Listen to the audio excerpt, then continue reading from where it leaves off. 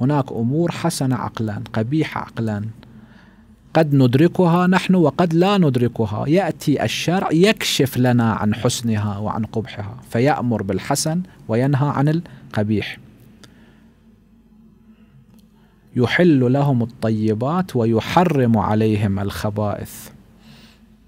يأمرهم بالمعروف وينهاهم عن المنكر. هناك أكو أمور هي في الواقع منكرة يأتي وينهانا عنها. هناك أمور حسنة يأتي ويأمرنا بها.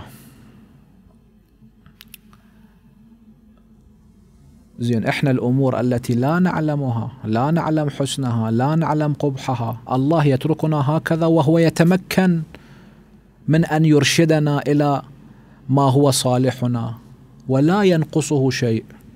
يعني بالفطرة إحنا ندرك إذا واحد لا يعلم بقبح شيء وأنت تعلم بقبح ذلك الشيء وتتمكن من أن تذكر له. إذا ما تذكر له هذا قبيح. مثال جدا مبسط لاتضاح الفكرة.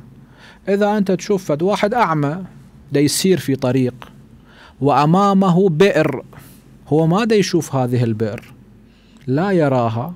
وإنما دا يتقدم وبعد دقائق أو بعد قليل سيصل إلى هذا البئر. وأنت تتمكن من أن تحذره أن أمامك بئر لا تسقط في هذا البئر. حرف طريقك.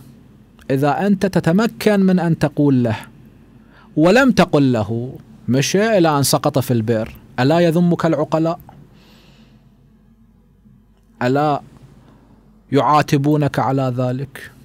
وحتى نفس هذا الأعمى اللي وقع إذا بقي حيا ألا يأتي ويعاتبك؟ يقول أنت كنت قد رأيت أني أعمى لا أرى أمامي الخطر وأنت كنت تتمكن من أن ترشدني. لماذا لم ترشدني؟